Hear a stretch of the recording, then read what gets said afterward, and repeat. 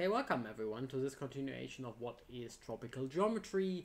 Uh, yeah, part two, and we'll now discuss tropical arithmetic. Tropical arithmetic again, a very beautiful. Whoever came up, well, we had that last time, right? Came up with this name tropical. Uh, it was really a good name. Let, us be realistic. A tropical arithmetic. That sounds very good.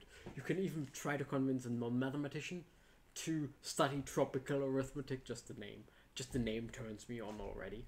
Um, very, very beautiful.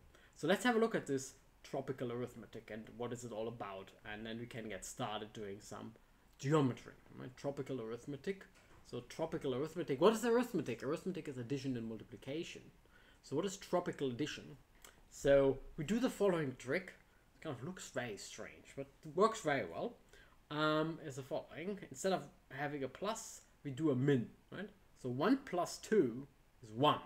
1 plus 2 is 1 because I take the min, right? I take the minimum of them. So here's a tropical addition table. So let's try whether we can understand that. 5 plus 3. I give you a second to think about what 5 plus 3 is. 5 plus 3 is 3 because we take the min and so on. So this tropical addition table is like so simple. It's just ridiculous how simple it is. I understand the pattern that is going on here. 1, 1, 1, 2, 2, 2, 2, 2, 3, 3, 3, 3. You just take the min. Kind of very strange. Huh? A little bit strange. You need to get used to it. And that's why I usually write uh, the fun plus, so the circle plus, for tropical addition to distinguish it from the usual plus, to just to make sure uh, we are careful here. And the zero element, I always like to write this equation, my favorite equation of all time, zero equals infinity. Yeah, so now you get the, it gets literally everyone scared, even the mathematicians. Zero equals infinity. But um, in this, well, using the minimum, yeah, the zero element shouldn't change anything if you add to it.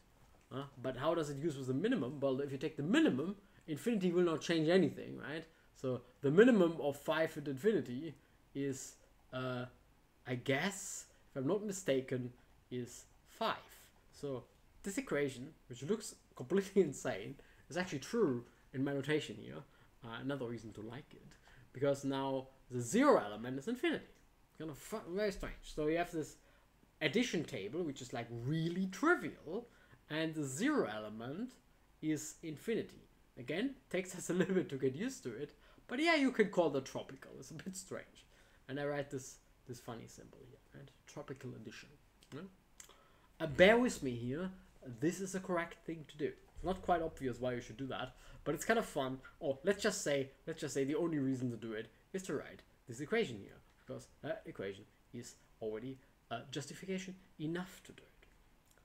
Okay, addition taking minimum. Addition taking minimum. Okay, multiplication is addition. now it gets very confusing. So the tropical multiplication is the usual addition. Again, the table now looks very easy, much easier than the multiplication table. Oh god, multiplication tables. The good old times in school where I had to learn multiplication tables should have looked like this. Much, much easier. So 7 times 7, as everyone knows, is 14. Because times is plus. Yeah? And again, uh, not to get confused, I will write this funny times here for the tropical multiplication. And again, I can write an equation which everyone likes and everyone hates, depends, but I like it. I can write 1 equals 0. Yeah? Wonderful. 1 equals 0, my favorite equation of all time, uh, just after 0 equals infinity. And what I mean by that is the neutral element with respect to this type of multiplication is of course 0, right? As you know, because multiplication is just addition in this case. Yeah, so, and you observe, well, let's just go through it. Addition is associative commutative and has a zero element, sure, because it's taking the min. You just you just observe that. Uh, multiplication is has the same and has a zero element, a, a one element, whatever, because it is the classical addition, and they distribute over one another. So you essentially already have a field, yeah, where you just have addition replaced by minimum and multiplication replaced by addition. It's kind of kind of a little bit fun to say. It's always so much fun to say. You replace addition by minimum, multiplication by addition. Yeah. Somehow there's a shift somewhere in the standard arithmetic. I just be just be aware. Just stupid side comment. the min or the max, you can do the you can also use the max if you want. But then your zero element would be minus infinity. Some people do that as well. I go with the with a min ring. you know, Just to be clear. They're dual to one another. It doesn't really matter which one you take. But anyway, in case you wonder why I'm preferring min over max, there is no reason. It's just I essentially flip the coin, or to be more precise, I'm following a reference and they do it. That's it. And yeah, there's not, not really any choice. But anyway, again, I would really like to uh, those multiplication and addition tables. They are so much easier. So somehow this the tropical arithmetic is so much easier than well standard arithmetic. Why don't we learn that in school? It's just much easier. Um, turns out it's not really much easier, but we'll get there. Here's an example of how much easier it actually is. There's this famous fresh person's dream. So fresh person, some student that freshly enters whatever school or university, high school, whatever, would really like to write something like x plus y squared is x squared plus y squared, which this picture hopefully convinces you that it is plain wrong. Yeah, x squared plus y squared is not x plus y squared. You're missing the cross term here. You're literally just missing this twice. Anyway, so this, by the way, a proof without words. Uh, beautiful proof without words. So it's clearly not true in classical arithmetic, or standard arithmetic, whatever you want to call it. But in tropical arithmetic, a fun exercise, please do that. It's fun. You actually see that this one is is true. So again, um, it gets much easier. Looks very much easier, right? So addition table, trivial, multiplication table, trivial, uh, binomial coefficient, binomial theorem, trivial. it's a lot of fun. So yeah, so um, that's tropical arithmetic. And why haven't we learned that in school? It's a good question. So much easier. So the tropical semi-ring, or I just call it the tropicals, just to be completely confusing, I just call it the tropicals, is r and infinity. So we really want to take infinity because it is our zero element, right? So you just add it, r and infinity uh, with the tropical addition and tropical multiplication. And this is what people call a semi-ring or a commutative semi-ring uh, because it's unital, associative, commutative. Uh, the infinity behaves as you think it would be.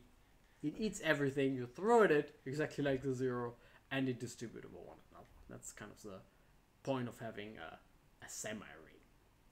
Um, the most famous example of a semi-ring is actually the Boolean semi-ring with truth values. So where plus is or and times is and, and you only have 0 and 1. So uh, false and true. And you can just write down this type of semi-ring. It has kind of the same uh, type of behavior. It has exactly the same axioms. And I usually, well, we don't use that, right? But there's also arithmetic over the booleans, just to mention it here.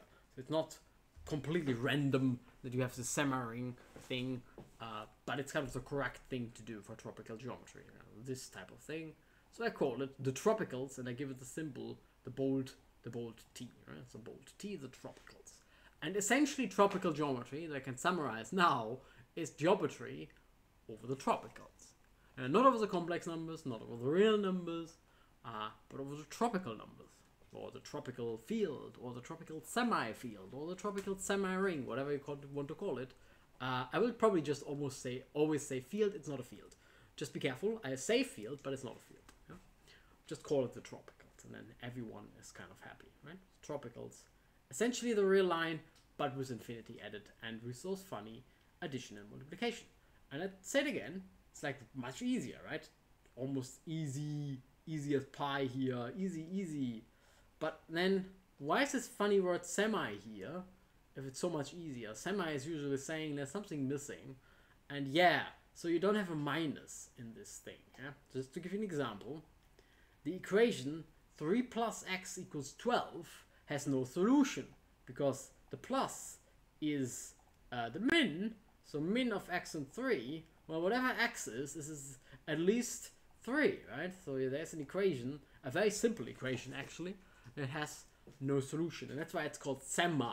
There is no minus in this thing. Yeah? It's just what it is. There is no minus. There is no way to invert the min process. And this leads to the 5% that I usually like to mention where algebraic geometry is easier than tropical geometry, or tropical geometry is harder than algebraic geometry. is that there is no direct minus. By direct minus, I would mean the, the well, I write the direct plus for the tropical plus. There is no tropical minus if you want. Because kind of solving equations is much more difficult and kind of the linear algebra where you usually need to solve equations um, is, is really, really difficult over uh, the tropical semi-ring, which makes it then interesting for applications to cryptography, for example, where, as I said in the last video, people like difficult things. cryptography pe people are very strange, they like difficult things, and here linear algebra is really not easy over uh, the tropicals because even the easiest equations have simply no solutions. There is no direct minus. Anyway, I hope you enjoyed this video and I also hope to see you next time.